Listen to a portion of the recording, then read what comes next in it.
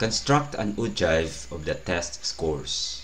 Let's construct an ogive chart of the test scores. An ogive is a graphical representation of a cumulative frequency distribution. It uses a class boundary and cumulative frequency. To construct an ogive, we need the values of the class boundaries and the values of the cumulative frequencies. This time we are going to find the less than cumulative frequency as well as the greater than or more than cumulative frequency.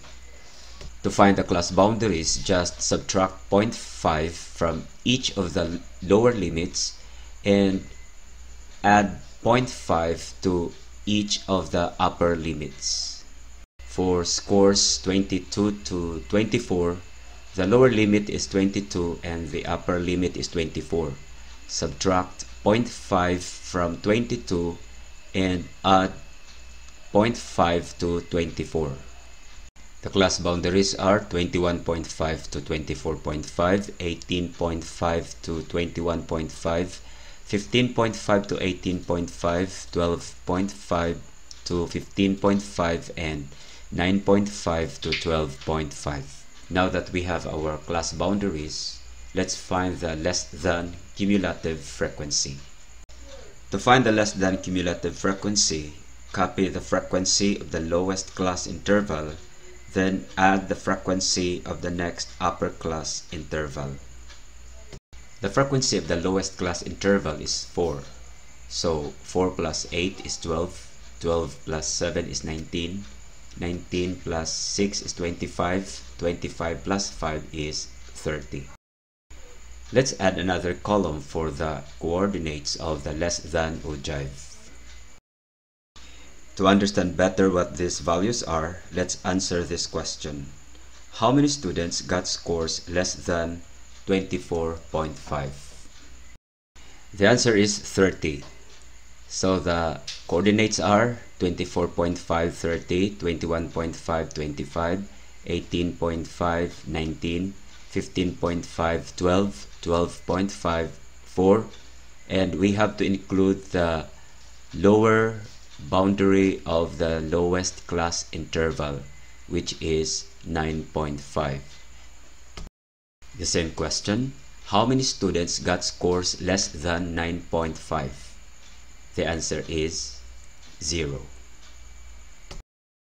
Now let's find the values of the greater than or more than cumulative frequency. To find the greater than cumulative frequency, copy the frequency of the highest class interval, then add the frequency of the next lower class interval. The frequency of the highest class interval is 5, so 5 plus 6 is 11, 11 plus 7 is 18, 18 plus 8 is 26, 26 plus 4 is 30. Let's pair these values to the class boundaries so that we can have our coordinates for the more than ogive. This time our questions are, how many students got scores greater than 24.5? The answer is 0. How many students got scores greater than 21.5? The answer is 5. How many students got scores greater than 18.5? 11. How many students got scores greater than 15.5? 18. How many students got scores greater than 12.5 26 how many students got scores greater than 9.5 30 okay let's construct an ogive chart using three simple steps draw plot and connect first draw the axis of coordinates and label the values along the horizontal line are the class boundaries and the values along the vertical line are the cumulative frequencies. Next, plot the points. By convention, a less than ogive begins on the horizontal axis at the lower class boundary of the lowest class interval. The number of students who got scores less than 9.5 is 0. The number of students who got scores less than 12.5 is 4. The number of students who got scores less than 15.5 is 12. The number of students who got scores less than 18.5 is 19. The number of students who got scores less than 21.5 is 25 and the number of students who got scores less than 24.5 is 30. Draw, plot, then connect. Connect the points.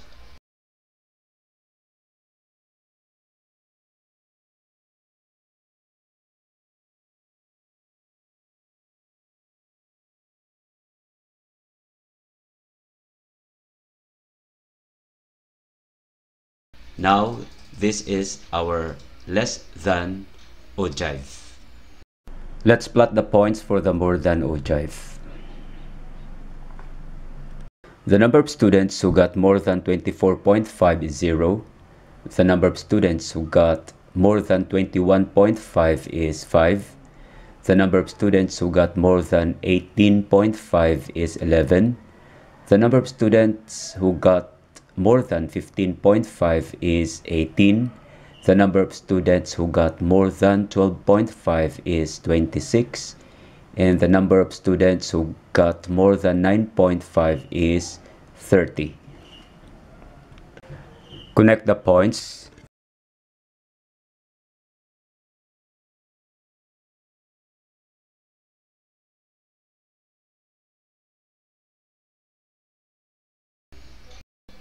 An ogive is a graph that shows how many data values lie above or below a particular value in a data set.